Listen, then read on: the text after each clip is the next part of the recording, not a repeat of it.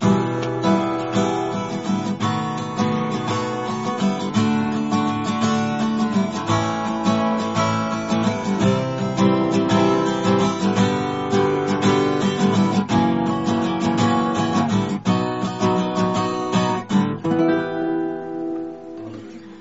This is a fascinating chord progression. This is, of course, we used to know from the early Jethro Tull album, second album, Stand Up.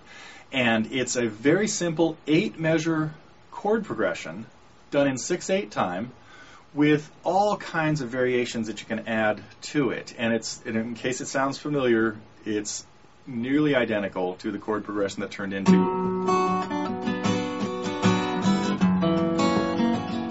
Of course, Hotel California. But this came out a solid 10, almost 15 years earlier.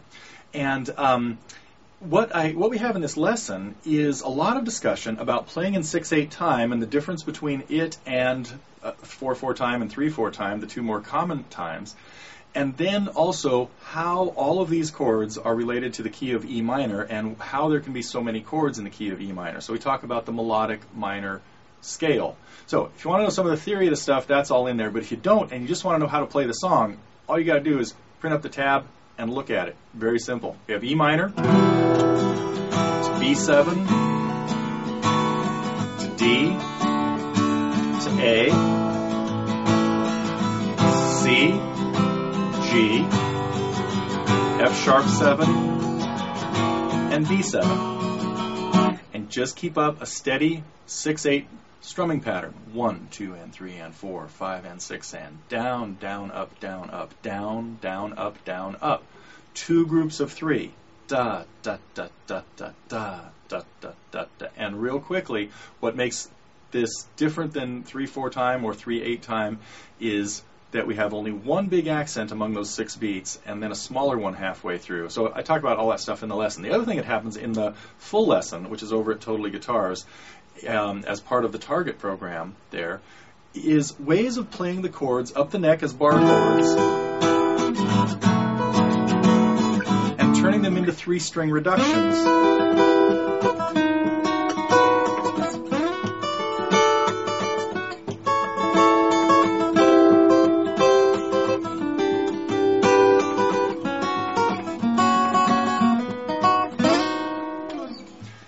So we talk about how to add a second guitar part to a fairly standard, well, kind of complicated, but, but, but to a long chord progression.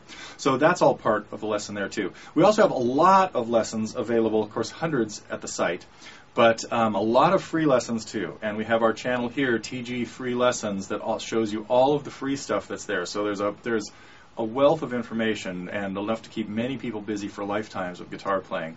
But if you're interested in some of the really in-depth stuff, you got to come check out the Target program at totallyguitars.com. But in the meantime, be sure to check out the free lessons here at YouTube and the links that send you over to Totally Guitars where we have plenty of free lessons as well. So, hope you get a chance to check us out soon and if you're really interested in We Used to Know, it's there now.